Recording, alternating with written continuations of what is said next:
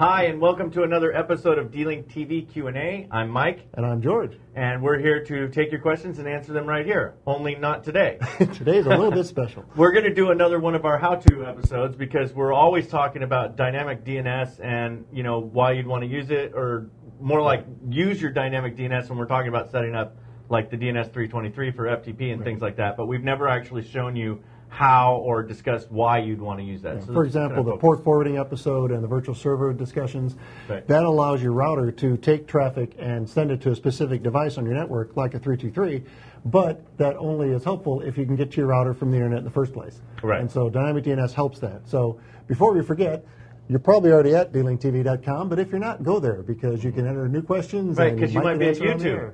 There you go. Yeah, They so are posted other places. There so- is a little web form in the upper corner that you can fill out and have your, your questions submitted right here that we can answer. And there are other videos out there besides ours. So Yeah, take a look around. There's all sorts of cool stuff to play with. absolutely. So today we're going to talk about what is dynamic DNS and why we would use it. So let's start with what is dynamic DNS. Okay, DNS is Domain Naming Service. What it does is it maps easy to remember names, like say dlink.com, to the IP address, which is you know four byte address. You know, it could be you know 63.123.12.13 or something. Those kind of numbers. Not only are they not so easy to remember, but in the case of DSL and cable modem connections, which most people have at their home, they can change because they use dynamic IP because it makes it easier for your service provider, whether that's a phone company or cable company, to manage their pool of addresses. Because they only have a certain amount. So especially with like DSL, if you're you know offline, they can give that IP address to other people. Right. And so, you, now- you only get it when you need it, basically. Right. So the, the difference between the dynamic DNS and static DNS is normally a business like D-Link Right. has a static IP address that's ours forever. Right. And we use a, a DNS server has dlink.com tied to our IP address. And that's static forever as long as we keep upping it. I think is, you know, 2050 or something like that. And one of the big differences also from a consumer point of view is you usually can get a static IP service, More but it's going to cost you more. Right. But along with it usually comes higher bandwidth. A lot of times it's more symmetrical. Like say you want to actually run a business.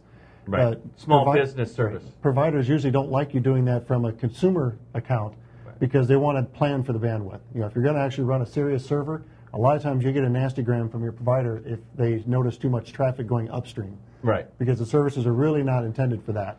So keep that in mind. And so, so your address is changing dynamically. Right. Dynamic DNS is going to your router pings the dynamic DNS server. Out in the world. Yeah, from time to time and says, "Hey, this is my new IP Right. address. Hey, this is my new IP address," and it just you know is easier way to. Get it. And so that way, it's a configuration inside your router. There's also our cameras support it, and some of the other devices support it. And so the idea is that as it first boots up, it says, "Okay, I'm, I've just rejoined the network, so I need to request the servers. Here's my name. I want you to map to whatever address I currently have." Right. and then also periodically because they are um, basically leases. You're getting an IP address for a, a time period. There are a number of services out there that provide dynamic DNS as a service, but D-Link provides a free dynamic DNS address for customers of our routers. So you get one free address. Nice. And so say you go to like the DR655 under Tools, Dynamic DNS, the tab on the side. In there, there's a pull-down menu. One of those is dlinkddns.com, and that's through our partner, dyndns.com. And so it allows you to go in, and as we mentioned, you go to the site, you log in, you need it. All you need is an email address. You don't have to pay for anything. The trick is that as long as the address is still being used, it'll stay good forever. Right. And so basically, if you go in and set up an address, you know, mydogfred.dlinkddns.com, and then you never program your router, so it never actually activates after 14 days or some such, they'll send you an email saying, warning, it's about to expire. Yeah. Hey, did you want this or not? Right. And because so, just like IP addresses, Right. they have a specific pool that they have. well, and the big thing is, you know, they don't want their database to go on forever with a billion, you know, my dog Fred, my dog Fred 23, my dog Fred 13. Right. So the idea is that you go to the site, all it takes is an email address, and then you go through and you pick the name, the, the first part. It's going to be whatever you have, you know, mydogfred.dlinkddns.com. And then you say activate, select whatever the wording is there. They're going to send you an email that to make sure it's real. So it's not just some computer out there trolling trying to fill up their tables. Right. And then you you acknowledge the email saying yes, this is real. And then, as you'll see in the screenshots coming up, you can go through and set up your router so that it will automatically keep this updated, and it just needs the username and password that you used when you set up the account. And that way, your address now, instead of being you know 69.23. whatever, can be mydogfred.dlinkddns.com, Right. which okay. will make your cat Susie really jealous. okay. So um, then let's go ahead and jump into the video of how to um, set up and configure your dynamic DNS on your router and one of the cameras. And one last thing is, once it's all set up, a good way to test it is the ping command. You just go to a command line and type in ping, whatever that name is. You know, you can do it like you know dlink.com, and then it, if the address resolves, Right. then you should get a ping response. And you could try that with this, but you need to make sure you enable ping responses on your router. So we'll do that as a screenshot also. Okay. All right. So let's jump into that. Start by logging into your router.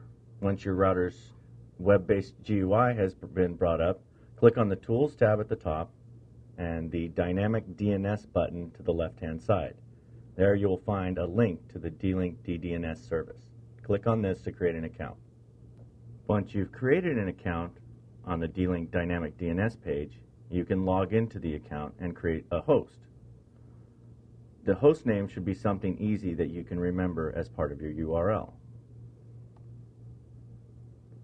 After you've chosen the host name, then enter in the public IP address of your router, which should be displayed in the browser IP field just above the new IP address field. Once you save this, that'll create the host name that we will use to create the dynamic DNS entry in our DIR655. Now that you have your host name, switch back over to your router's interface and enable dynamic DNS. Select the dlink ddns.com service and add it to the server address. The host name is the one that you just created on the dlink ddns site. Enter that all the way in, including the ddns.com extension. After you've entered that, use the same username that you created at the D-Link DDNS site and enter in the password and verify your password.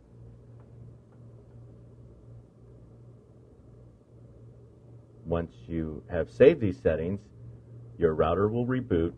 Once you have saved the dynamic DDNS settings on your router, you should be able to go outside of your home to another location with an internet access and then type in the URL using the host name first, followed by a dot, followed by dlinkddns.com, and then the port number which you assign to your camera. Once you hit enter, it should bring up the uh, password prompt where you will enter in the username and the password for the camera. This will allow you to get into the interface.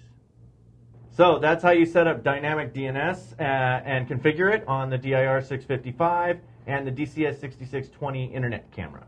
And if you have one of our other routers, maybe the 625 or the 615, or one of the G routers like 624 or WR2310, they all have the same functionality. The menus look a little bit different, but they're usually in just about the same spot and pretty easy to find. So yeah. it isn't just the 655 that supports it, but we really like that router. It kind of rocks, so buy one. Yeah, absolutely. so that's going to do it for this episode of D-Link TV Q&A. Uh, if you have a question, go ahead and point your browser to www.dlinktv.com and fill out the little web form in the upper right corner, and we'll take care of you right here on the air. And thanks for watching. Thank you.